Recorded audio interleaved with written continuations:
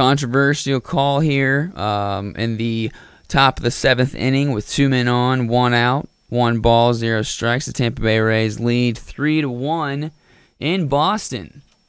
You'll see Margot comes up here hoping to, to crack a home run. He, he hits it. He hits it well, but it's not quite there.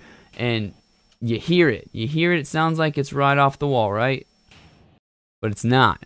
It's actually in the web of the glove, and then it comes back and hits the wall while being in the glove. And because of that, it's an out. Randy Arozarena here crossing a home plate, uh, then is able to be turned into a double play ball because you know he ran without tagging.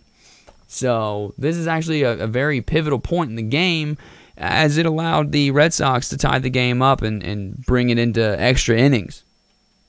So you see, Randy, he's confused, buddy. I would have, I would have loved it if you got there. You're on my fantasy team.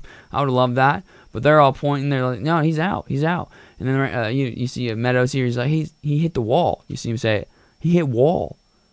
He says it right there. He he hit the wall. You can see here, he did not hit the wall. It's a very, very good call by the umpires. Uh, it hits the web of the glove. It's in just here. You can see it perfectly. The ball is sitting in the glove before it actually hits the wall, making the noise. It made the noise after it's sitting in the web of the glove. So, the umpires see that. They call that out. They get the double play. Um, and yeah, they're able to, to bring it into extra innings. And like I said, win it six to five. Like there, he says out, and then you got these guys. They're gonna come over here celebrate. You got the finger guns. Boom, boom. Yeah.